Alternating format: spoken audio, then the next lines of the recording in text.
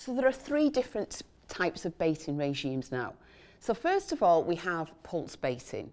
So this is for any anticoagulant where the lethal dose can be ingested in just a single feed. So that's baits that contain flocoumafen, so as in Storm and Storm Ultra, brodifacoum and difethialone.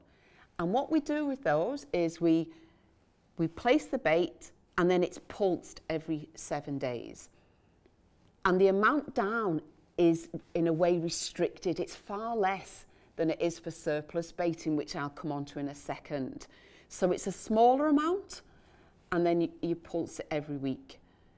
Now, not all of the baits that contain brodifacoum or difethialone will have pulse baiting on the label, so you must check the label.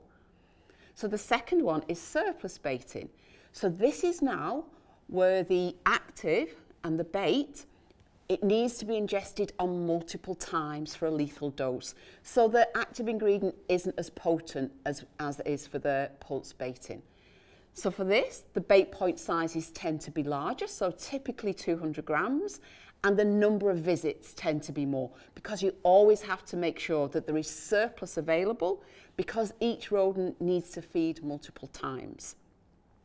So that's the, and the, the actives for surplus baiting are difenacoum, bromadiolone, and then all on any of the first generations, so chlorophacinone, diphacinone, warfarin, and they're all surplus.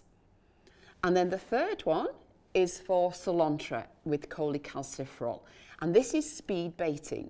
So what it is, is you place the bait down to achieve control in seven days. You then put the maximum amount of bait for that size of the infestation, you visit one to two days later, and then on day seven, it's possible to get control. So quick control. But this is wholly reliant on maximum amount of bait at maximum intervals and replenishing one to two days later. And they're the three different baiting regimes that we have.